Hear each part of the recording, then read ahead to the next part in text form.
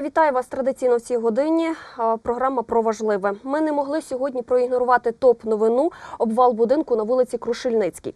Це трапилось вчора ввечері. Кадри будинку а, вражають. Чому це сталося? Причини і наслідки про причини і наслідки будемо говорити з заступником міського голови Владиславом Стемковським. Я вітаю вас у нашій студії. Доброго дня. Отож, розкажіть, що стало причиною обвалу будинку, скільки там мешкає людей і де зараз е, тепер ці люди?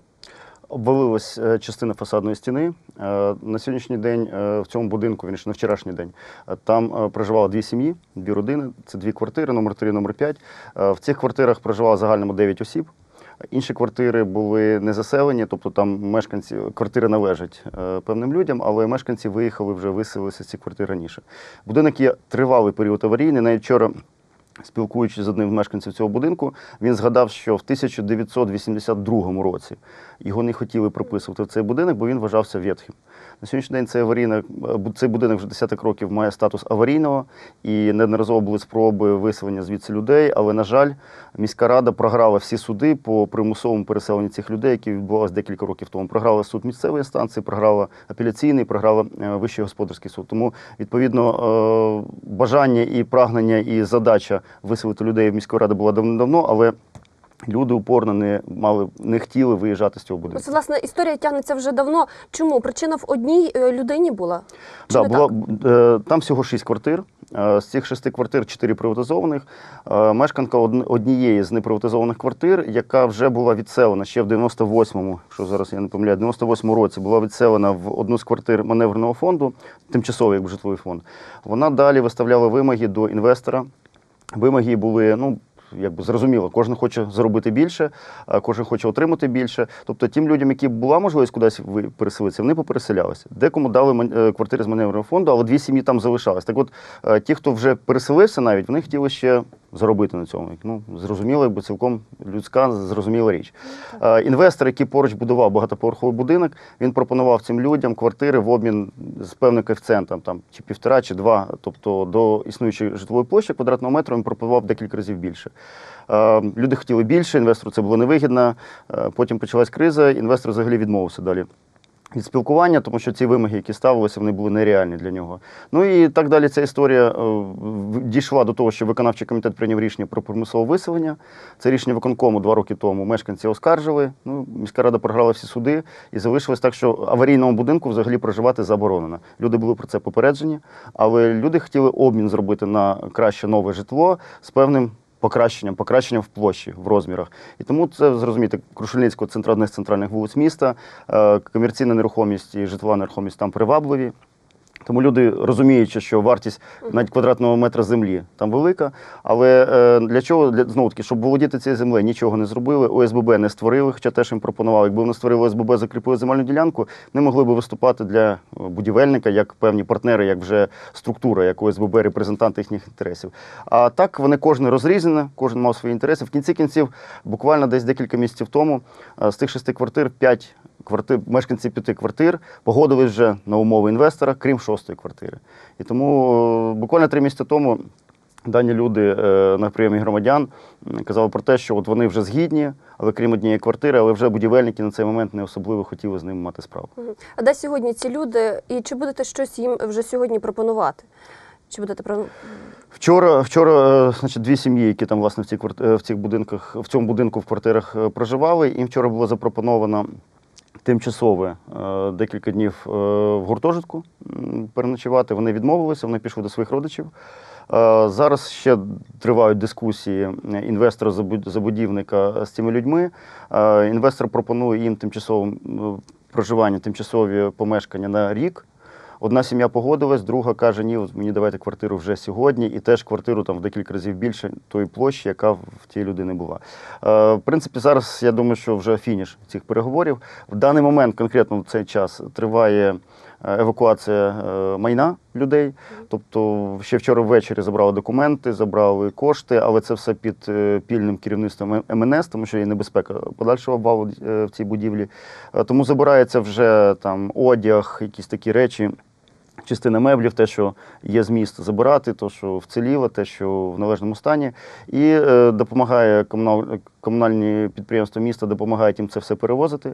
І зараз я думаю, що ну, сьогодні, протягом сьогоднішнього дня ми приступимо до остаточного демонтажа е, залишків даної конструкції. Негода спричинила це все. Е, Якщо повертатися до початку, то е, спричинили стан будинку. Будинок будинку 136 років. Угу. 136 років, і це не є з тих будівель, тому що ми розуміємо, що там є будівлі, які по 200 по 300 років мають, але це не є е, якість виконання цієї Мгм. будівлі не така, що вона простояла 300-400 років. Але те, що вона 136 років простояла, це теж чудо. Він був е, в аварійному стані дуже тривалий період, більше 30 років. Е, Напевно, що вчорашня злива додавала, допомогла, що обвал стіни відбувся. Але слава Богу, слава Богу, що це можливо відбулося саме вчора, тому що е, в той момент, коли це відбулося, не було е, людей, які там постраждали, бо розумієте. І тому е, немає навіть не те, що жертв, слава Богу, немає навіть поранених. Є там, можливо, психологічна травма, але безпосередньо людей, які фізичне ушкодження отримали, немає. Зараз там обмежений рух транспорту. Чи буде коли будете відновлювати? Коли вже все буде Значить, ми е, перестраховуємося, тому що знову таки, враховуючи, що будинку більше 100 років, оцінити його до кінця технічний стан можна тільки візуально. Для того, щоб уникнути такої ймовірності, що далі буде продовжувати руйнування будівлі, а там відразу в двох метрах проходить тротуар по вулиці Крушельницькій і зразу йде полоса проїжджа, то щоб уникнути ризику потрапляння під обвали е, людей, пішоходів або автомобілів, ми на сьогоднішній день перекрили рух по одній частині, по одній полосі вулиці Крушельницької, для того, щоб е, могли рятувальники спокійно працювати. Якщо сьогодні ми почнемо демонтаж і е, другий поверх буде вже е, забраний, то далі ризик обвалу на проїжджу частину буде мінімальний, або взагалі його не буде.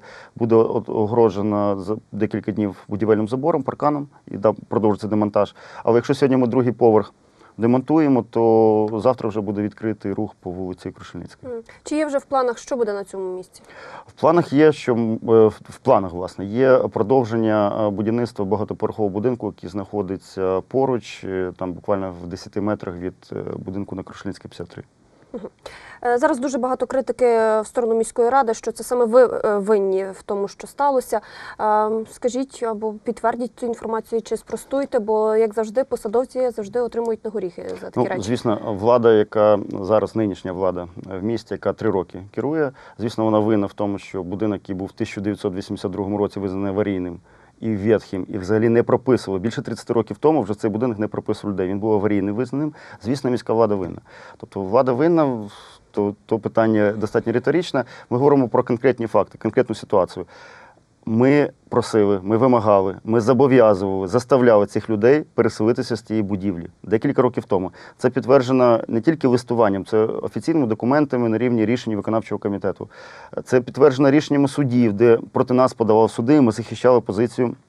Ми говорили про те, що небезпечно проживати в цьому будинку. Це вже зараз е, ну, знову таки питання для слідчих, які б могли б вияснити, чи була бездіяльність органів місцевого самоврядування, що призвело, можливо, запитати в суді, який приймав рішення про те, що заборонив нам примусове переселення. Люди іноді не свідомі того, що проживання, наприклад, в таких умовах створює небезпеку для їхнього життя.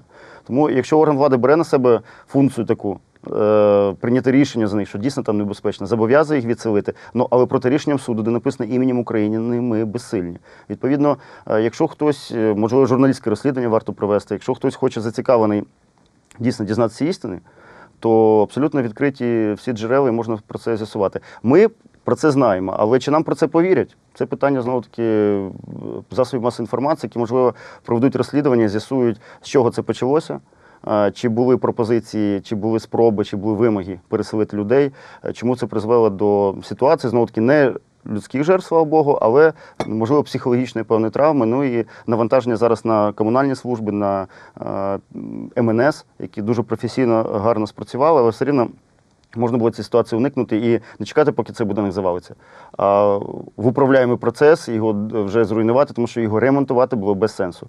Е, Реконструкцію робити теж без сенсу. Там його треба тільки зруйнувати, не в місті збудувати нову будівлю. В Тернополі подібні випадки були. Я особисто такого не пам'ятаю. Я теж не пам'ятаю. е, В будівлі, ну, таки, це на слава Богу, не впала будівля.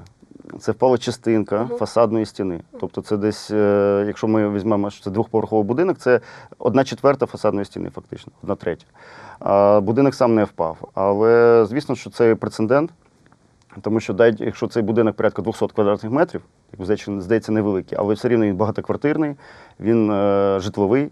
І зрозуміло, що це е, зараз інформація повідомлена в Києві. Ми вже давали інформацію і через лінію МНС, і через лінію МінЖКГ, Мінрегіонбуду, тому що ну, це прецедент.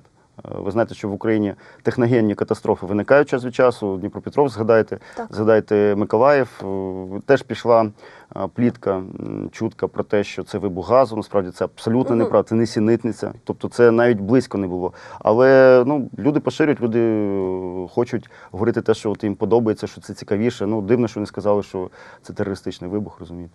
І слава Богу, що не сказали. При міській раді створена спеціальна комісія. До 10 червня вона повинна дати своє рішення щодо того, чи є в Тернополі ще подібні аварійні будинки. Ми знаємо, що вони є, і ми далі ми працювали раніше з мешканцями цих будинків. Вони категорично деякі просто заходиш тобі прокльони шлють, і без, без сенсу взагалі про щось говорити. У нас є більше 10 таких будівель. Ветхі, так званий Можете назвати фонд. їх? Ні, зараз я не хочу адреси називати. Ми вам дамо, якщо ви хочете, ми дамо Мгм. вам е, звіт даної комісії і можемо подати теж інформацію, з якого часу даний житловий фонд був визнаний аварійним чи визнаний ветхим. І що до цього часу люди кажуть, а я хочу тут жити. От я хочу тут померти, нічого мене не чіпайте, нічого зі мною не робіть. Я буду тут далі жити. Хоч це небезпечно. Ніхто це не погоджується переселятися. не погоджуються. Погоджуються, напевно, е, можуть напевно погодитися люди, коли їм хтось запропонує якісь ну, суперфантастичні умови, але знову таки ми в реальному житті живемо і зрозуміло, що поміняти е, 16 квадратних метрів на три трьохкімнатні квартири, як іноді хочуть, ну це нереально. Я зрозуміла. Я вам дуже дякую за вичерпні відповіді, за те, що завітали до нашої студії. Надіємося, більше подібних випадків у нас не буде. Дякую за увагу телеглядачів. Залишайтеся на телеканалі Інтебе.